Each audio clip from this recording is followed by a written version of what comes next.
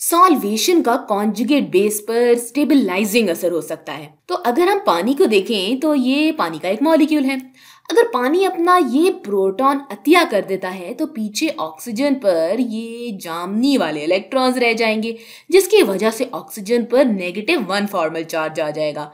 और हम पानी का कॉन्जुगेट बेस बना देंगे, जो कि हाइड्रो ऑक्साइड एनाइन होगा। यानी कि पानी का conjugate base hydroxide anion है। हाइड्रो ऑक्साइड एनाइन हमारे सॉल्वेंट से स्टेबल बन सकता है। तो अगर हमारा सॉल्वेंट पानी है तो अच्छा चले रुके। मैं यहाँ पानी के चंद मॉलिक्यूल्स बना देती हूँ। तो ये पानी का एक मॉलिक्यूल है और मैं पानी का एक और मॉलिक्यूल यहाँ बना देती हूँ। हम जानते हैं कि पानी पोलर सॉल्वेंट है। ये एक पोलर मॉलिक्यूल है। ऑक्सीजन के पास पार्शियल नेगेटिव चार्ज है और हाइड्रोजन के पास पार्शियल पॉजिटिव चार्ज है।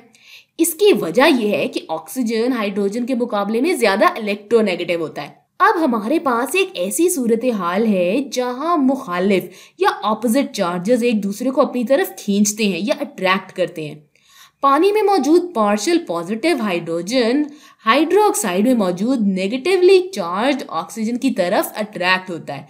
लिहाजा इन दोनों मुख्तलिफ़ चार्जेस के दरमियान एक अट्रैक्टिव फोर्स पाई जाती है और वो अट्रैक्टिव फोर्स हाइड्रोक्साइड एनाइन पर मौजूद नेगेटिव चार्ज को स्टेबलाइज करने में मदद करती है, यानी इसको मुस्तकम करने में मदद करती है। तो यहाँ पर हमारे पास पानी का एक और मॉलिक्यूल मौजूद है यानी एक और पार्शियल पॉजिटिव और पार्शियल नेगेटिव चार्ज यानी यहाँ हमारे पास एक और अट्रैक्टिव फोर्स है जो कि हाइड्रोक्साइड एनाइन पर मौजूद नेगेटिव चार्ज को स्टेबलाइज करने में मदद करेगी। तो इसका मतलब ये हुआ कि जितने ज़्यादा पानी के मॉलिक्यूल्स आपके पास होंगे, जितने ज़्यादा सॉल्वेंट के मॉलिक्यूल्स आपके एनाइन को हल कर रहे होंगे, इतना ज़्यादा स्टेबल आपका कॉन्जुगेट बेस होगा। अब अगर हम यहाँ मौजूद इन चार कंपाउंड्स को देखें तो पानी के पास मौजूद इस प्रोटॉन की पी के ए वैल्यू तकरीबन पंद्रह इशारिया सात है। इथेनॉल के पास प्रोटॉन की पी के ए वैल्यू तकरीबन सोलह है। आइसोप्रोपोनॉल के पास सत्रह है और टर्ड ब्यूटानॉल के पास अठारह है।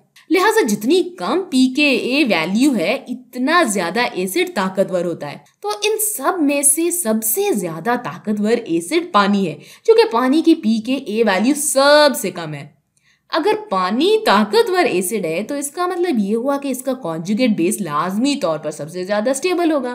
तो हाइड्रोक्साइड एनाइन हमारे कॉन्जुगेट बेसिस में से सबसे ज़्यादा स्टेबल होता है।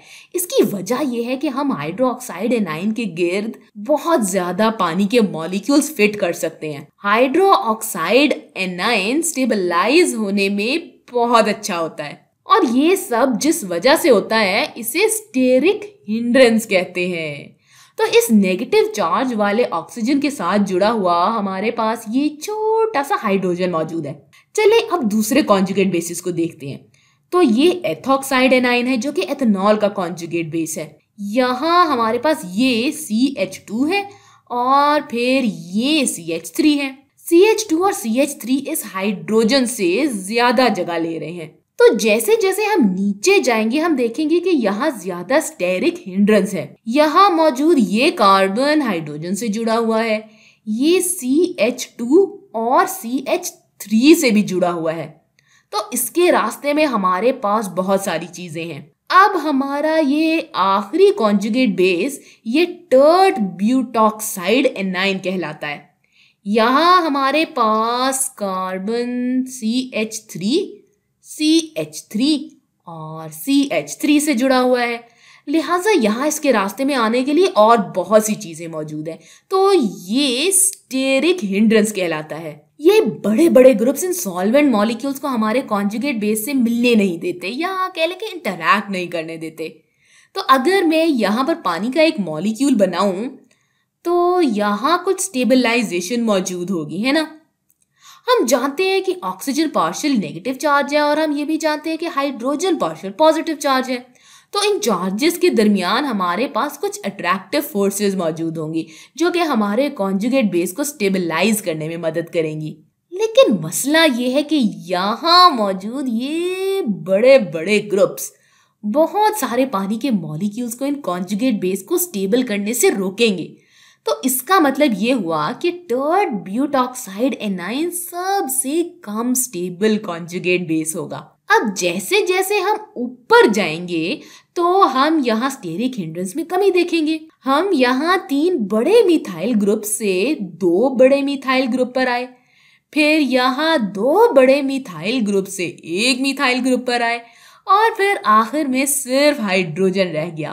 लिहाजा यहाँ हम स्टेरिक हिंड्रेंस में कमी ला रहे हैं। हम यहाँ अपने सॉल्वेंट की एनाइन को हल करने की या सॉल्वेट करने की सलाहियत को बढ़ा रहे हैं। इसलिए हमारे सॉल्वेंट्स में सबसे ज़्यादा स्टेबल हाइड्रोक्साइड एनाइन है।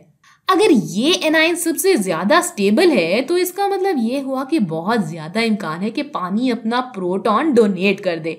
और इसी वजह से हम यहाँ पी के ए वैल्यू सबसे कम देख रहे हैं।